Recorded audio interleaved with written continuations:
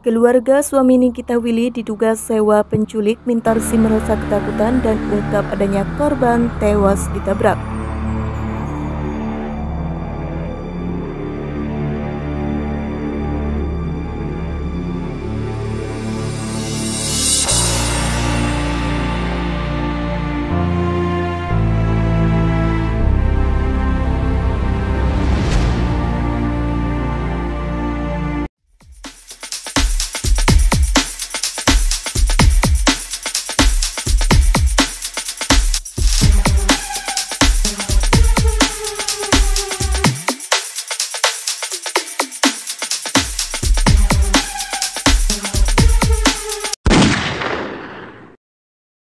Tante Indra Priawan dan Mintarsi menjelaskan mengapa mereka baru-baru ini melaporkan masalah saham keluarga mereka ke polisi. Segala sesuatu disebabkan oleh adanya aksi teror penculikan. Masalah rebutan saham dalam keluarga suami Nikita Willy yakni Indra Priawan belum juga terselesaikan. Baru-baru ini Mintarsi yang juga merupakan bibi dari Indra mengungkapkan dugaan perlakuan kejam yang dilakukan oleh anggota keluarga keponakannya. Dia mengaku bahwa ia pernah mendapatkan ancaman penculikan yang berujung pada kehilangan nyawa. Hal ini diungkapkan secara langsung oleh Mintarsi saat diwawancarai oleh jurnalis. Mintarsi mengakui bahwa salah satu alasan mengapa ia tidak pernah melaporkan masalah SAM ini kepada polisi sejak lama adalah karena teror penculikan.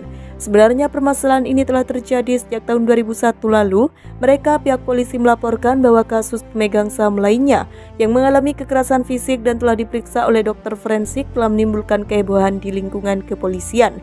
Jadi informasi tersebut memang telah diketahui, akhirnya saya berujar dari pihak saya juga terdapat permasalahan penculikan, ungkap Mintarsi. Mintarsi menyebutkan bahwa pihak penculik telah menyebut membuat pernyataan tetapi kejadian buruk sebenarnya terjadi ketika Mintarsi akan melaporkan masalah penculikan tersebut ke pihak kepolisian. Ada bukti yang jelas menunjukkan bahwa para penculik juga membuat pernyataan. Tapi kenapa saya tidak lapor? Karena pada saat saya lapor diminta notulen rapat datang. Begitu notulen rapat didatangkan, notulen rapat itu ditabrak, ditabrak mati, tuturnya dengan miris.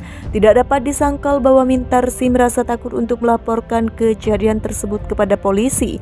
Mintarsi merasa nyawanya sangat berada di dalam bahaya ketika itu.